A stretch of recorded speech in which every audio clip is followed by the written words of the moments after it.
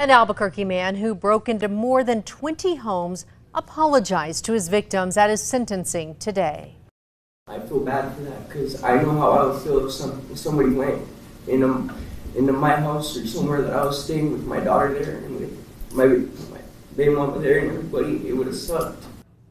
Jesse Mascareno Hadel broke into homes near the West Mesa Sandia High School and Tanoan East in 2020, sometimes while people were sleeping in their homes.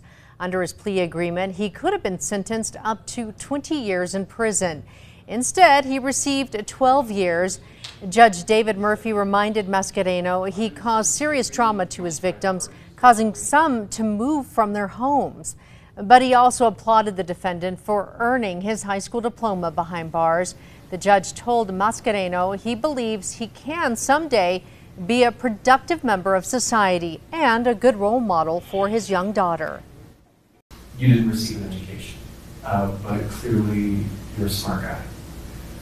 Anyone who organized this many burglaries is clearly intelligent, and I want you to keep that in mind, and I'd like you to pursue those education opportunities while admitted to more than 20 burglaries, prosecutors originally connected him to as many as 80.